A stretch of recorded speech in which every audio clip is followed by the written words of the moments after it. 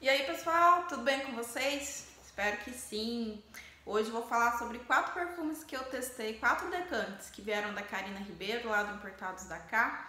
É, quatro decantes que eu provei e amei, assim, foi amor à primeira vista, perfumes muito, muito bons mesmo. Então vou deixar primeiramente o contato da Karina Ribeiro para quem quiser adquirir decantes. Esses aqui são decantes de 5ml, dois aqui eu já sequei e eu quero deixar a minha opinião é, sobre eles para vocês.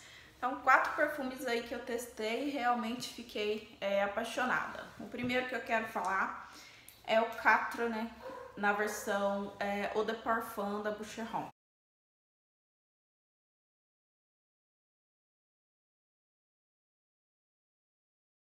Gente, que perfume é esse? Eu conhecia poucos perfumes da Boucheron. Vou deixar o frasco aí pra vocês. Eu já falei um pouco sobre o Catran Rose, né? Não sei se é assim que fala. Já falei um pouco sobre ele, mas esse aqui ainda não havia falado, eu não tinha conhecido. E a Karina me enviou um decante e eu achei maravilhoso. Ele é um perfume de 2016, ele é um floral frutado e ele tem uma saída bem cítrica, assim, de perfume bem limpo. E depois ele tem um fundinho assim de caramelo. É, também tem maçã, tem jasmim.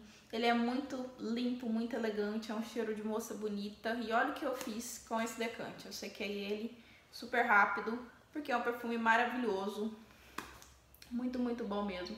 Fixação não é monstra, né? Ah, os perfumes da Boucheron, as pessoas às vezes é, reclamam que a fixação é baixa. Tirando o Trouble, que é um perfume que fixa super.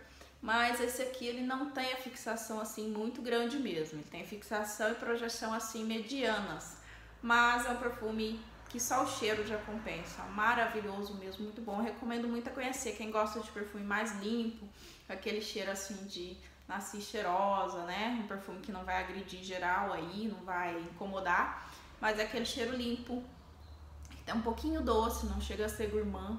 Então é um perfume mesmo bem refinado, bem sofisticado, é um perfume que eu quero ter. Muito, muito bom mesmo, Capra na versão de Parfum de Boucheron. Maravilhoso. Próximo que eu quero falar é o novo Ansolance de Guerlain, né? Guerlain agora que tá padronizando todos os frascos, deixando os frascos naquela, ah, nos vidrinhos lá das abelhinhas. Vou deixar aí a foto para vocês verem.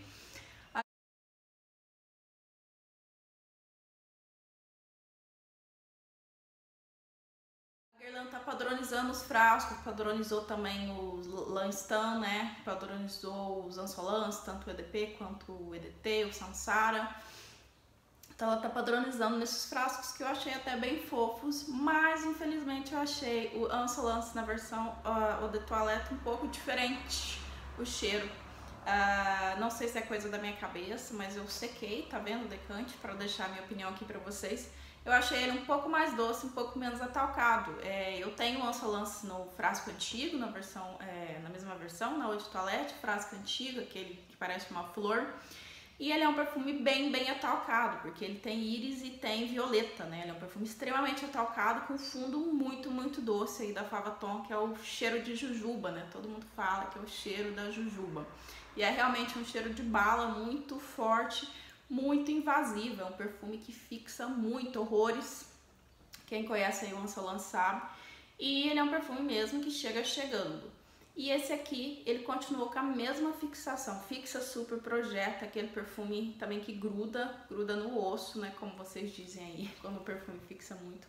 Esse gruda realmente no osso, mas eu achei ele mais doce, menos atalcado, eu senti menos a íris, menos a violeta e mais doce, bem mais doce. Então foi isso que eu senti no novo Ansolance, eu acho sim que foi reformulado. A Guerlain disse que não reformulou, que só trocou os frascos, mas eu acho sim que foi reformulado. Eu senti esse mais doce, eu até comparei os dois, o que eu tenho, e eu senti esse mais doce, menos atalcado. Se alguém chegou aí a testar, deixa pra mim nos comentários, vamos trocar informações. Procurei informações na internet, algumas pessoas falando sim que tá diferente, mas ninguém, a gente não chegou assim num consenso de falar tá mesmo diferente. Pode ser coisa da minha cabeça, mas eu achei esse mais doce, menos atalcado. Foi isso que eu achei. Uh, o próximo é o Chloé na versão Lã, que é o Chloé verdinho, que é um Chloé que tá um pouco difícil de achar.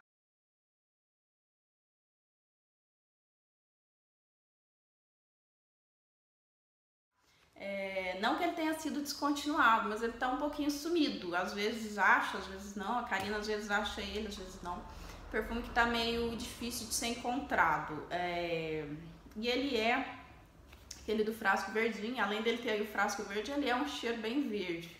Uh, ele é um perfume de 2012, tem rosa, tem magnólia, tem peônia, tem cedro, uh, âmbar. E ele tem um musgo musgo até fortinho no fundo, que deixa ele todo refinado. Ele é um perfume bem verde, assim, com uma saída bem verde, fresco, clean. Eu achei ele ideal, assim, ideal. Ser ele ideal pro verão, um perfume muito clean, muito fresco, mas ele tem esse musgo no fundo que dá essa coisa mais refinada. E tem gente que não gosta de musgo, porque fala que fica com cheiro de velha, né? Aquele, sempre aquele termo pejorativo, cheiro de velha. Mas ele tem sim esse musgo no fundo, que dá esse toque que eu acho que é muito refinado. Não acho nada cheiro de velho, eu acho bem refinado. Mas ele é um perfume bem verde, com esse musgo aí que dá esse toque. Eu achei maravilhoso, gostei bastante do Coé na versão Lã. Eu não conhecia, gostei bastante. E o próximo que eu amei é um perfume que tem muitas frutas vermelhas. Se você não gosta de cheiro de frutas vermelhas, corra desse perfume, que ele tem bastante frutas vermelhas. Eu tenho uma amiga que detesta frutas vermelhas. Vou mandar esse decante pra ela. É que é o novo da Givenchy, que é o Blossom Crush. É, esse Blossom Crush, ele é agora, né, de 2018, um lançamento.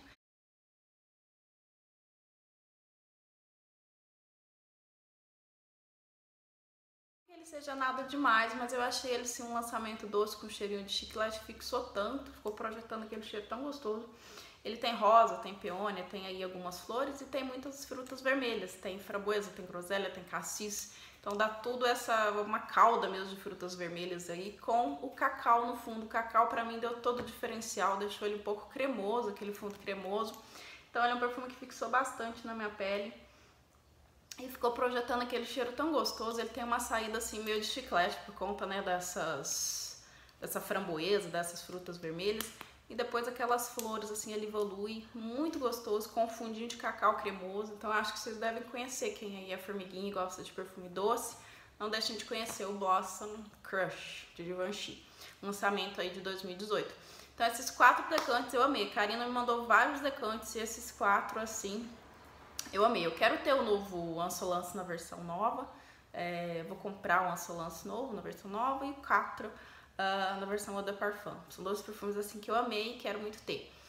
Eu já tenho um Ansolance, mas esse Ansolance, assim, embora ele seja um pouco difícil de usar, né, ele não é um perfume fácil, é um perfume que exige um clima mais frio, usar aquela coisa que vai chamar atenção, porque tem dia que a gente não quer, né, e tem dia que a gente já acorda, assim, quer um perfume forte. Pelo menos eu sou assim. Então é isso que eu tenho para falar sobre esses quatro perfumes que eu adorei. Me sigam lá no Instagram, que é arroba perfumes. Deixa seu like aqui pra mim e não se esqueça de se inscrever no canal, né? Quando você ativa as notificações, clicando no sininho, você recebe por e-mail todos os vídeos que eu gravo. Então, muito obrigada por assistir e até o próximo vídeo.